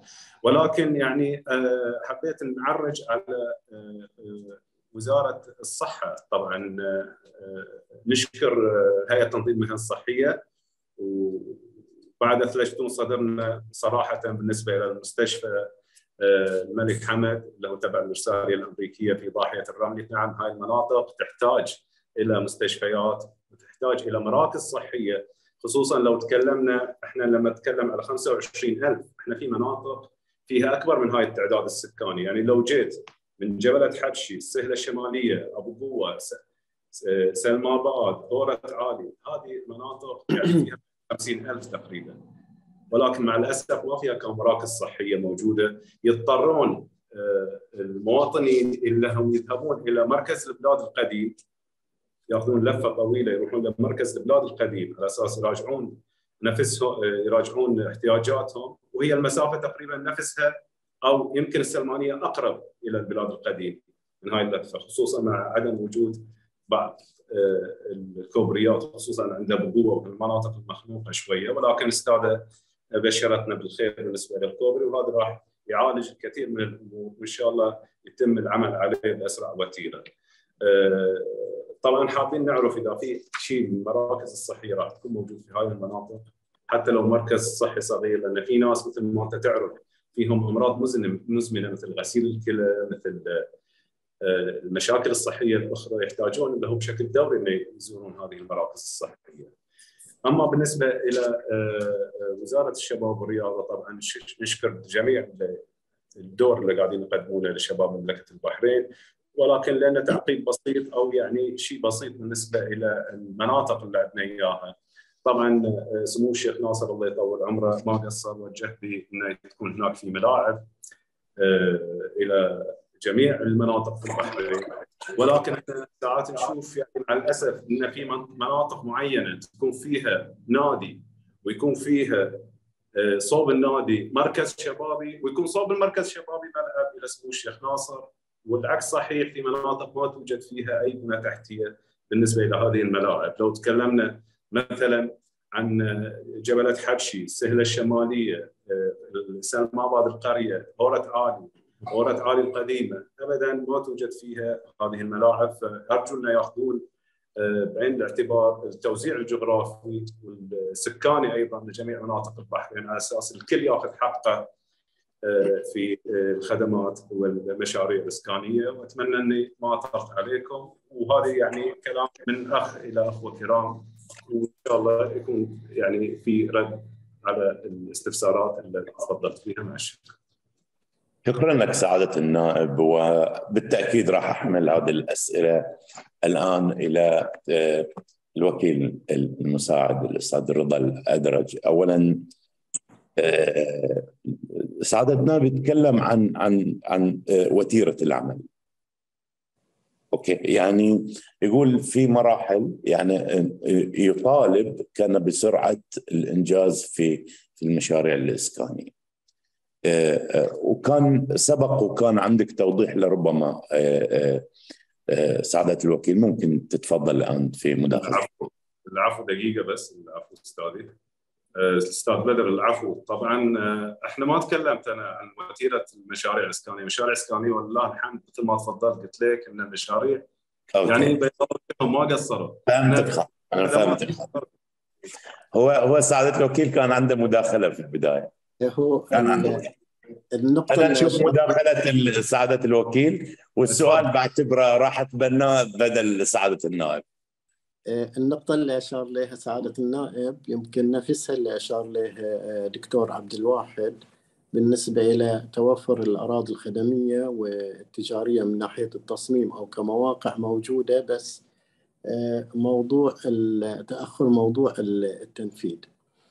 يعني أنا في هذا الجانب يعني حب أحب أكده أن وزارة الإسكان يعني خصصت هذه المواقع ووفرت الخدمات إليها من ناحية الشوارع الكهرباء والماء مجرد أن الجهة الخدمية تبني وتوصل بالشبكة. فالمواقع جاهزة 100% وقابلة إلى عملية التنفيذ.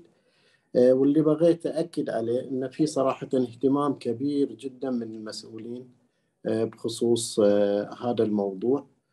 وأن تم تحديد كل الخدمات اللي تحتاجها المراحل الحالية المنفذة من قبل وزارة الإسكان اللي انسكنت من قبل الناس وحتى المراحل المستقبلية القريبة أيضا آه، تم تحديدها.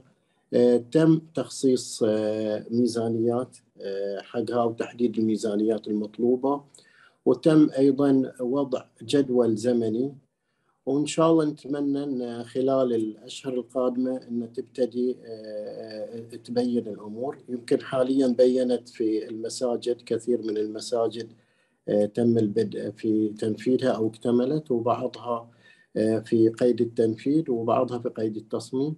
وباقي الخدمات إن شاء الله آه، جاية على الطريق. هذا اللي حبيت أن أكد عليه من هذه الناحية. بالنسبة إلى ال... هذا واضح سعادة النائب. أوكي واضح الجواب. أنت واضح أستاذي العزيز. أنا ف... واضح وبيض الله وجهك ما قصرت. الله يسلمكم. ففي تنسيق حتى الجهات الخدمية الثانية كلها داخلة في التنسيق وصارت آه، مجموعة كبيرة من الاجتماعات ونفس ما يعني بأكد عليه مرة ثانية وضع جدول زمني وتم تحديد الميزانيات المطلوبة. وإن شاء الله بمشاركة الجميع آه، آه، تبدأ الأمور يعني تكون واضحة على أرض الواقع. شكرا لك سعادة الوكيل آه، المساعد ولكن هو يعني في سؤال أنا بصراحة كلفت أني أسأله وأنت راح أترك الإجابة لك إذا تحب ترد أو لا يعني هو سئلت أنا في في أكثر من من وربما السؤال ذكر الآن على المنصة. مشروع شرق سترة مشروع شرق سترة متى سيتم الانتهاء من المرحلة الأولى ومتى سيتم آه، البدء في المرحلة الثانية؟ آه، آه، الله إذا تحب تجاوب يعني. لا لا بالعكس السؤال يعني وش اسمه واضح والجواب المفروض يكون متاح إلى كل الإخوان الأهالي في برنامج واضح للمشروع يعني المرحلة الأولى الحين قطعنا فيها شوط وإن شاء الله المتوقع أن تنتهي مع نهاية 2023 ونفس ما تفضلت الأخت معنا إحنا حاليا في تنسيق متواصل وياهم على أساس أن آه، نطور شبكة الطرق آه، الخارجية اللي تربط المشروع ونطور المنافذ اللي تؤدي إلى آه، إلى هذه الشبكة. بالنسبة إلى المرحلة الثانية إحنا بناء على التوجيهات الأخيرة من سيدي صاحب السمو الملكي ولي العهد. يعني قدمنا المرحلة من سنة 23 إلى إن شاء الله نحاول نبتدي بها في في هذا العام إن شاء الله. إن شاء الله. كل التوفيق لكم سعادة الوكيل. يعني أنا أعرف قلت لك إن هاي الوزارة وزارة صبورة. ولازم تصبر على أسئلة المواطنين يعني. لا بالعكس هذا هذا واجبنا يعني. وإحنا هدفنا أساسا توفير السكن المناسب والملائم أو البيئة المناسبة والملائمة إلى إلى لكل المواطنين إن شاء الله. آه شكرا لك سعادة الوكيل مرة أخرى. آه آه أنتقل إلى إلى الأستاذ محمد خليل. هناك كثير من الأسئلة وردت أتمنى يكون عندك إجابة أستاذ أو تحب ترد عليها. أستاذ محمد تفضل. يعطيك العافية. طبعا أنا أقدر حرص سعاده النائب وحرصنا كله كفريق في توفير جميع الخدمات الضرورية للمواطنين. إحنا اليوم في مراكز الرعاية الصحية الأولية دائما نحرص إما إلى تطوير المركز الصحي نفسه اللي يخدم قطاع أكبر أو إنشاء مركز صحي جديد وفق المعطيات وفق معايير معينة مثل ما تكلمت عنها. طبعا الموضوع تشعب شوية وكان الكلام خارج المدن الإسكانية. اليوم طبعا منطقة الرملي حسب حسب التخطيط الموجود في وزارة الإسكان إن مع نهاية 24 راح يسكنونها تقريبا 9000 أو إلى 10000 تقريبا مع نهاية العام 24 الرملي طبعا في مجموعة من المراكز الصحية مثل مركز عالي عندنا مركز يوسف انجينير قريب من المنطقة يعمل 24 ساعة. عندنا مركز مدينة عيسى. إحنا اليوم عندنا بعد مشروع تطوير لمركز البلاد القديم نفسه بتكلفة تقريبا مليون دينار وأكثر شوية لتطوير المركز. وتطوير خدمات المركز أساس يستوعب أكثر عدد طبعا. اليوم عندنا إحنا مشروع التسيير الذاتي أو الضمان الصحي وبرنامج اختر طبيبك. هذا بيغير هيكلة الصحة أنت اليوم الطبيب راح يكون له مجموعة أو المواطنين راح يختارون طبيبهم وكل طبيب راح يكون له عدد معين متفق عليه والعدد وكثر ما يشوف مرضى أكثر من العدد المطلوب راح يكافئ طبعا هذه اللي يسمونها كابيتيشن ان ان وراح يكون تنافس بين الأطباء من أجل تقديم خدمة صحية إلى المواطنين. هذا اختر طبيبك راح يغير شوية في حتى في هيكلة المجمعات سواء نقلها من مركز إلى مركز ثاني أقرب على أساس إن إحنا نحقق التوزيع العادل في عدد المرضى المخصصين إلى كل طبيب طبعا.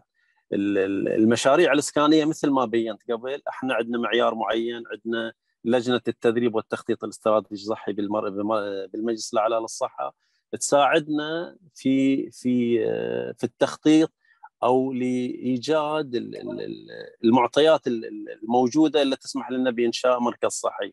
عطفا على كلام الدكتور بخصوص بعد مركز سترة مدينة شرق سترة بعد يتوقعون الجماعة في وزارة الإسكان خلال نهاية العام 2024 ما يصل إلى 10000 مواطن طبعا موجودة مخصصة أرض وفي جاري العمل على أعداد المتطلبات بس في مشروع ثاني يمكن الدكتور أنا التقيت فيه في لقاء قبل في مشروع لتطوير مركز ستر الحالي بما يكلف تقريبا 1.1 مليون دينار لتطوير سواء كان زيادة غرف الأطباء، زيادة قسم التمريض، زيادة عيادات الأسنان، زيادة قسم الأشعة بحيث نوفر مجموعة من من خدمات الأشعة إلى المركز نفسه. طبعا بالإضافة إلى إن المركز صار يعمل 24 ساعة.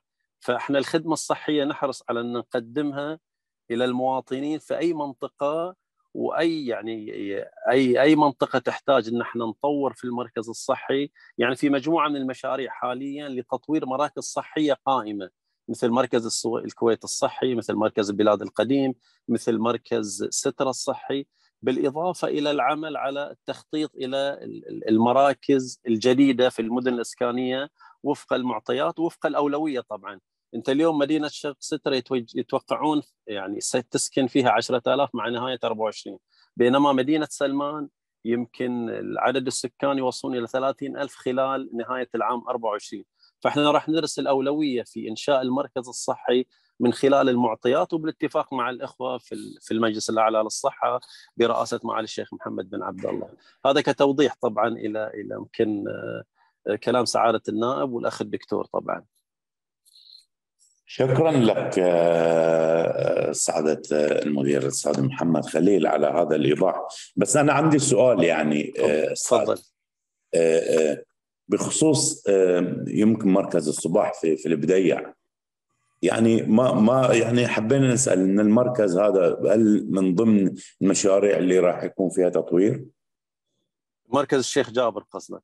عفوا الشيخ جابر. إيه. الشيخ جابر في مشروع للتطوير زيادة عيادات أو غرف الأطباء والمشروع قائم حاليا. بس ما يقارن بالمشاريع التطويرية الكبرى اللي تجري في مركز سترا وتجري في مركز الكويت. أنت تتكلم عن مركز الشيخ جابر من المراكز الجديده طبعا ومركز يعمل 24 ساعة ومساحته كبيرة طبعا. يعني ويخدم حتى مدينة سلمان. يعني أنا أعرف يعني أهالي سترا ربما يفتقرون إلى مستشفى الولادة على كل حال.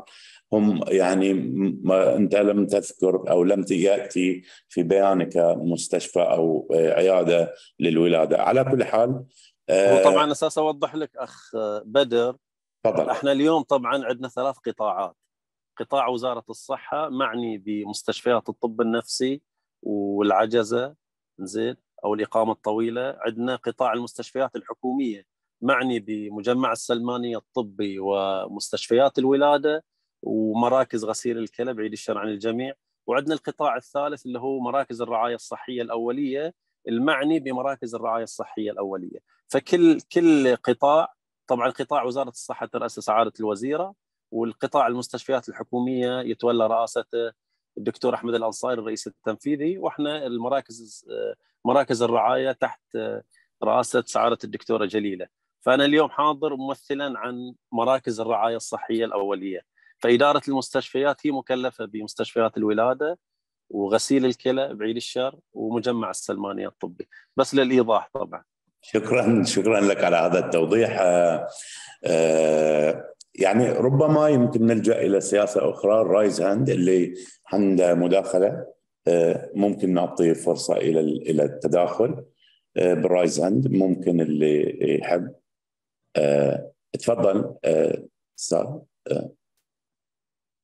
في أحد رفع إيده ونزلها يمكن؟ اي تفضل أستاذ. زاد فضلك أخوي الكريم. بس حاب إن أعقب على سعادة النائب وتوجيها للنقاط لوزارة شؤون الشباب والرياضة.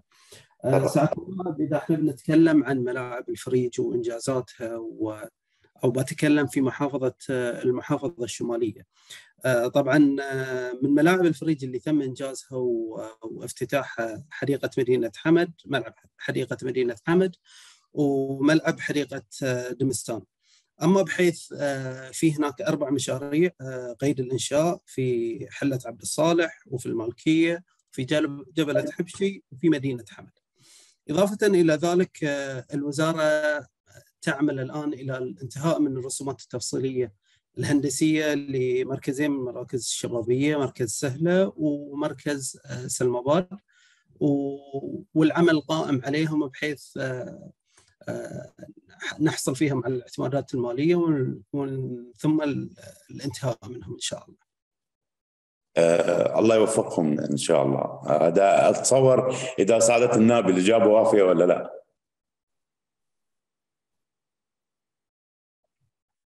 سعاده النائب موجود يعني أستاذ غازي الرحمه أتصور الأستاذ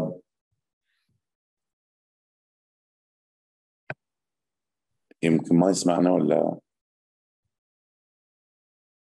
إضافة إلى ذلك أخ بدر طبعا مثل ما تفضلت في البداية وزارة شؤون الشباب والرياضة تواصلت مع الجهات الحكومية مثل البلديات ووزارة الإسكان على أساس ننتهي من المطلوب من الإجراءات الحكومية ونبتدي في مشاريع ملاعب الفريج وتطوير البنية التحتية الشبابية.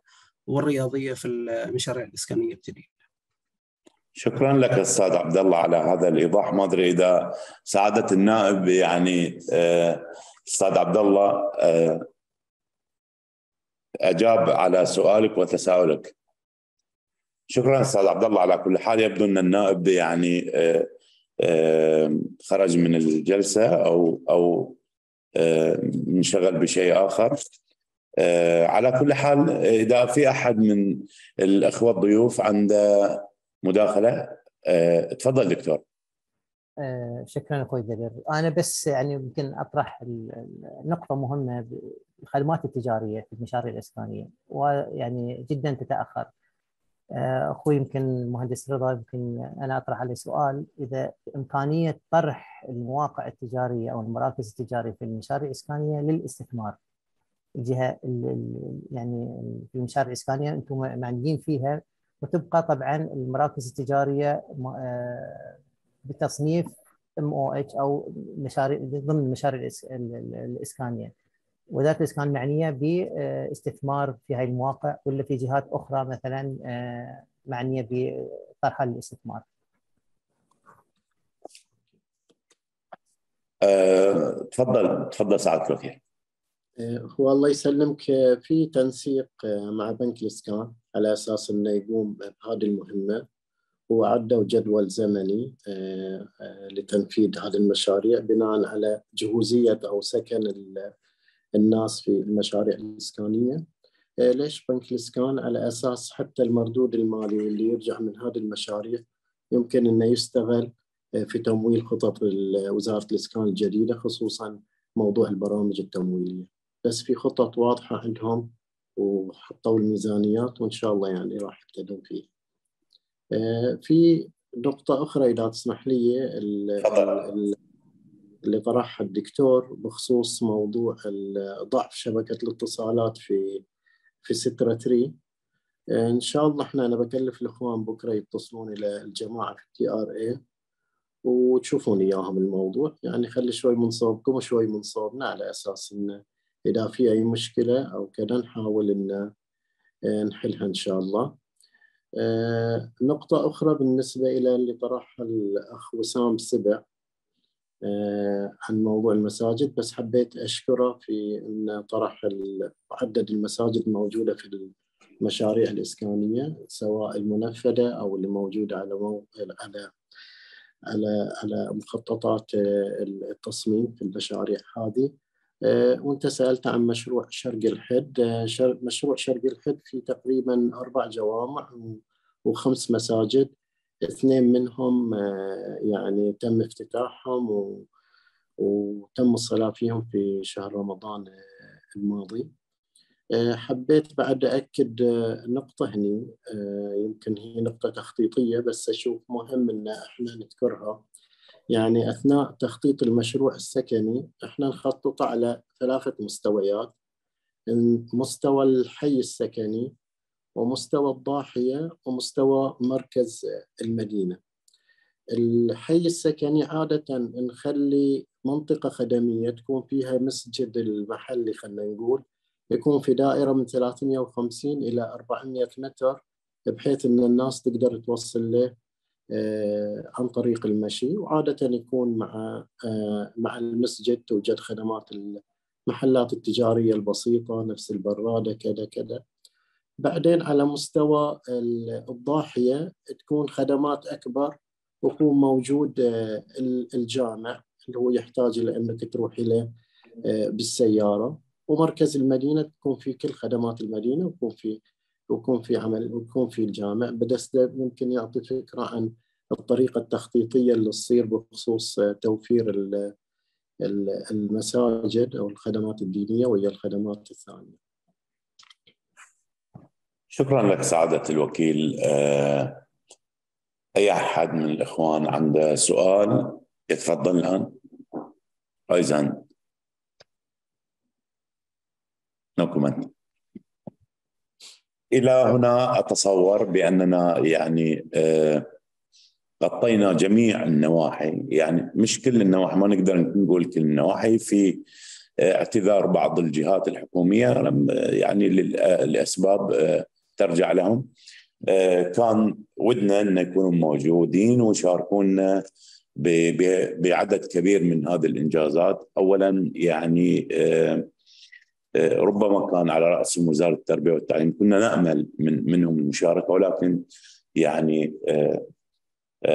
إن شاء الله في في المرات القادمة يكون الندوات أكثر إلمام أو أكثر شمولية بالجهات الحكومية. اولا أنا أحب أشكركم على حضوركم وقبولكم هذه الدعوة لصحيفة البلاد و أنا بأصالة عن نفسي ونيابة عن أسرة التحرير في صحيفه صحيفة البلاد أشكر سعادة النائب على قبوله الدعوة أشكر سعادة الوكيل المساعد أستاذ رضا الأدرج. شكرا لك سعادة الوكيل على قبولك الدعوة.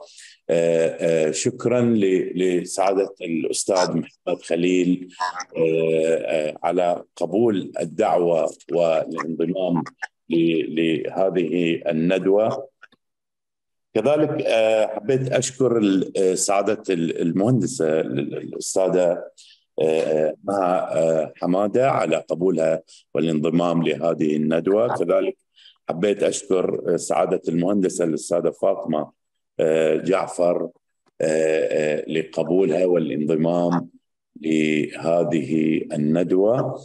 وكذلك حبيت أشكر سعادة الأستاذ عبد الله السهلي لقبوله الدعوة. كذلك حبيت أشكر الدكتور عبد الواحد. دكتور شكرا لك لقبولك الدعوة. هاي ثاني مرة أو ثالث مرة ممكن يعني تكون يانا في ندواتنا في البلاد. وأنت دائم دائما ضيف عزيز على قلوب الدكتور كبن البقية. وأشكر كذلك أنا ما أشوف الأسماء من بعيد. الدكتوره حصه طبعا دوسري على قبولها الدعوة والانضمام لهذه الندوة. شكرا لكم جميعا ونلتقيكم إن شاء الله في ندوات أخرى. والسلام عليكم ورحمة الله. وبركاته شكرا لك أستاذ بدر. يعطيك العافية.